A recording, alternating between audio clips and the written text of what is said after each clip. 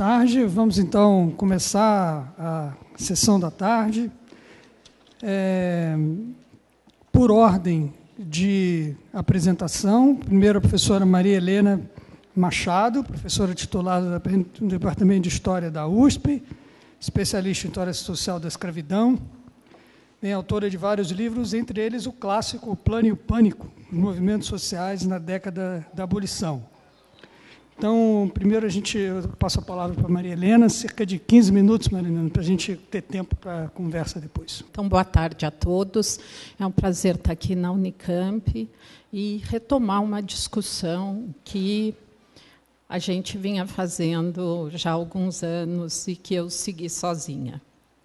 Eu venho falar da experiência da Universidade de São Paulo, que não é uma experiência já tenho que falar desde o início, muito otimista, nem muito um, um, ousada. Né?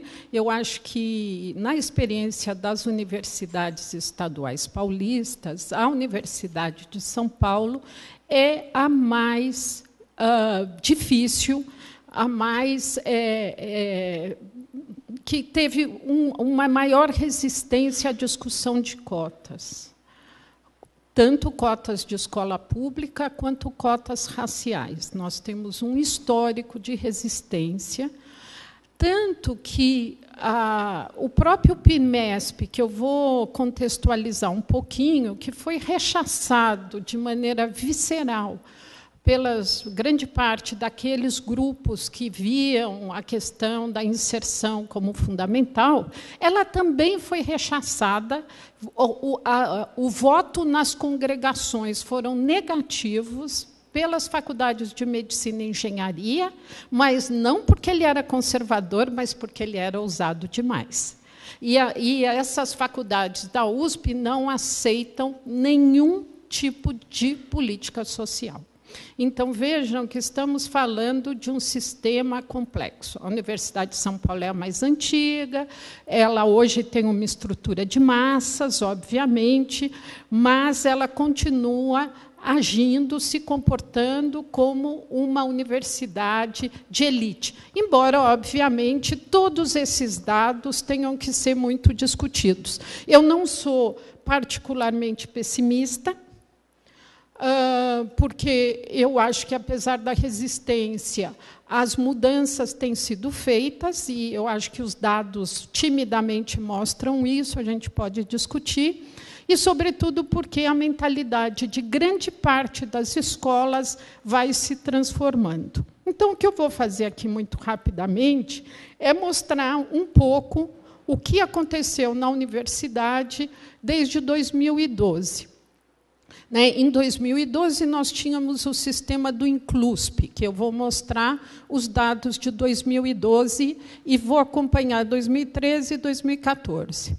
Né? Em 2012, pela primeira vez, a Faculdade de Filosofia, Ciências Humanas e Letras formou uma, uma comissão para discussão de cotas étnico-raciais, do qual eu fazia parte.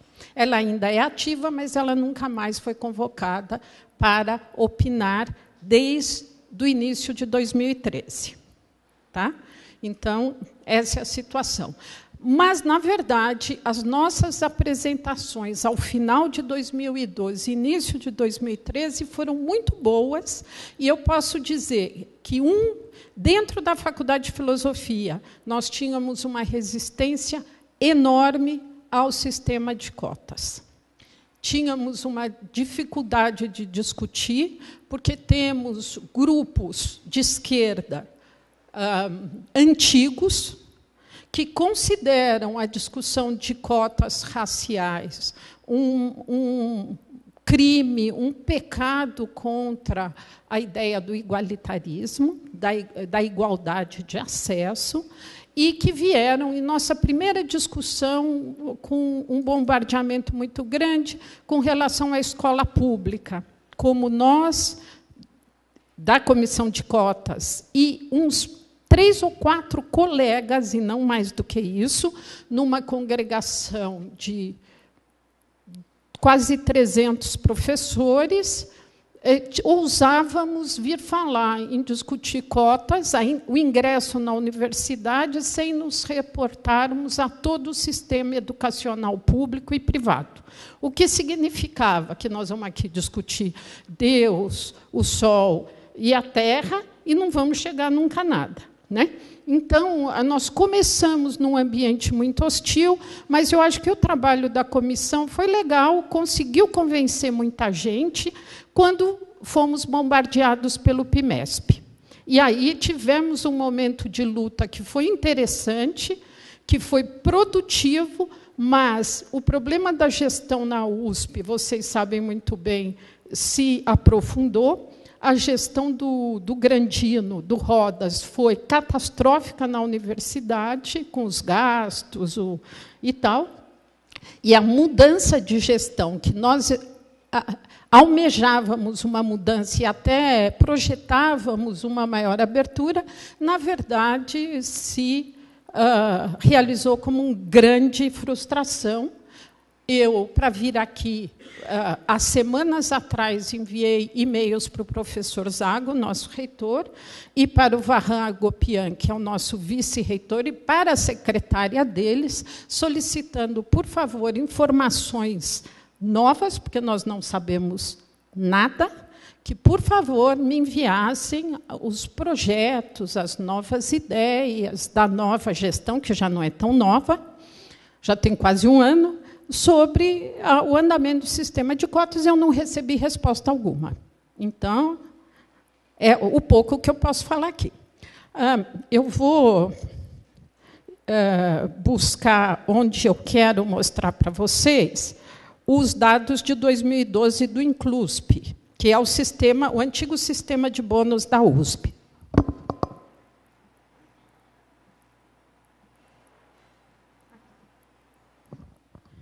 Então, ah, na, ah, no ano de 2012, né, os inscritos e matriculados na FUVEST. Né? Então, a primeira fase, como vocês sabem, é, o sistema de bônus da USP Inclusp incide apenas sobre a segunda fase, incidia. Né?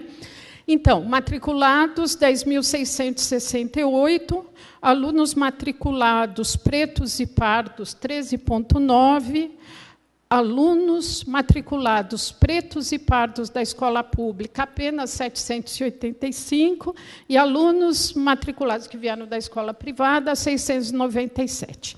O que nos interessava naquele momento é que 76% dos inscritos no vestibular na FUVEST eram brancos, considerados brancos, ou se consideravam brancos. E os matriculados eram 78%, portanto, eles levavam 2%. Os pretos e pardos eram 14,3% e levavam eram aprovados 13,9. E os chamados amarelos, que é uma categoria realmente horrorosa de se falar, asiáticos, eram 5,5 e se a sua representação se exponenciava para 7,5. Quando você vai ver essa distribuição nas escolas, você vai ver que na medicina e na engenharia, os asiáticos dobram, mais do que dobram a sua representação. E os chamados PPIs, pretos, pardos indígenas, até nem vou falar indígena, que a USP tem pouquíssimos alunos indígenas, mas os PP, chamados PPs, vão para quase nada. Sim, aqui por escolas, né? Na medicina, 77% de brancos inscritos, 74 aprovados, pretos e pardos de 16 passava para 9 e os asiáticos de 6 passava para 16%. Na engenharia, a, o mesmo tipo de, de estatística ocorria e nas letras era o único em que havia uma menor proporção de é, aprovação do, do perfil inicial para aprovação. E uma disparidade menor entre inscritos PPs e aprovados. Como funcionava esse tipo, o INCLUSP? Né? Os alunos pretos, pardos ou indígenas que tinham cursado integralmente o ensino básico em escolas públicas ganhavam bônus de até 5%. Os alunos que tinham cursado o ensino médio em escola pública elevou de 8% para 12% a bonificação na nota. Os alunos do ensino fundamental e integralmente no ensino médio na rede pública elevou de 8% para 15% a bonificação dos candidatos, aqui cortou, que fizeram o, o, a, toda a escola, a, no ensino médio, na escola pública.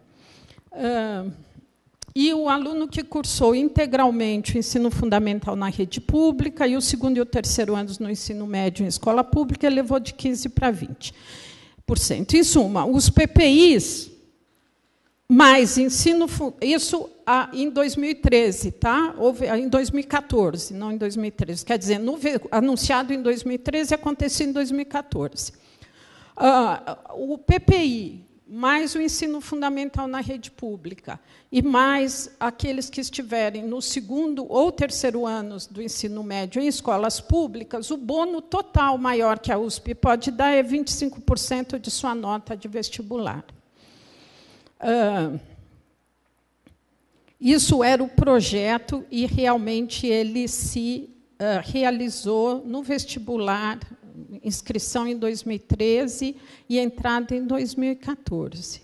Eu vou depois explicar melhor esse daqui, uh, mas a questão é que. Espera aí. Eita.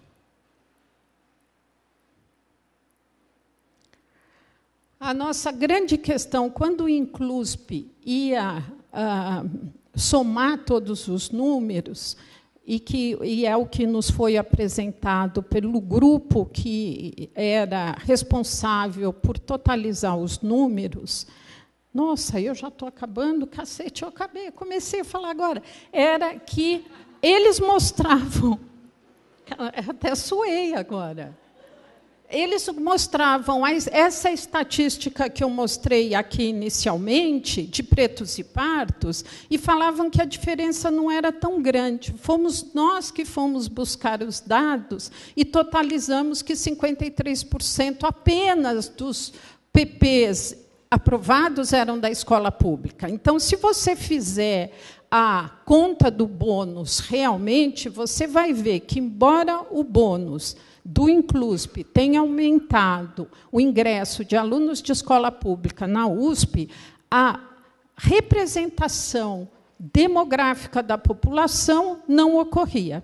E o mínimo de alunos PPs que ingressavam eram aqueles que vinham da escola privada, eram de classe média e tal. E que, portanto, era necessário avançar nas políticas e o bônus não funcionava direito. Naquele momento, vou falar muito rápido, fomos bombardeados pelo PIMESP. E o PIMESP, ele chegou na USP antes do que aqui e nos causou um espanto enorme. O PIMESP propunha, ele se chamava inclusão por mérito e de forma alguma falava em cotas, né? E os dados que recheavam o PIMESP eram bonitos. Eles mostravam realmente que havia um gap, um buraco na representação do aluno da escola pública e do aluno é, do PPI nas universidades. Deixa eu achar aqui um, aqui, ó.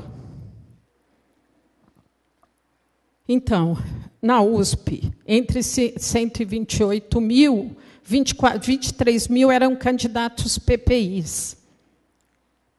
Matriculados 1.511. Né? Realmente, os, porém, isso incluía os de escola privada. Né? Então, quando você tirava os da escola privada, realmente o número era muito pequeno. Porém, o, o PIMESP é, é, o que ele propunha é a criação da universidade à distância por dois anos, os community colleges e todo aquele sistema que eu até gostaria de explicar um pouco melhor, mas pelo jeito não vou ter tempo. É, é, é, é, ele, ele quase foi aprovado, né? e ele dependeu de uma mobilização brutal que, a, que aquele, a discussão de cotas uh, nos ajudou, pelo menos, a gente se organizar, porque a gente já estava um pouquinho mais organizado e atento, que eu vou pôr aqui muito rapidamente para vocês olharem, e que foi uma carta inicial, o movimento inicial foi essa carta que eu escrevi junto com a Lili Schwartz e que mandamos para os membros da congregação. E que fazíamos a primeira crítica ao PIMESP, chamando atenção enfim, para aspectos formais, aspectos de conteúdo, mas, sobretudo, sobre a questão do Community College, que não estava explicado, eram os tais dos ICES. Se ah, os dois anos o PIMESP propunha um ensino meio à distância e meio presencial por dois anos para o aluno escola pública e PPI. E aí era a primeira vez que se falava em perfil demográfico, nos 35% ou 37%.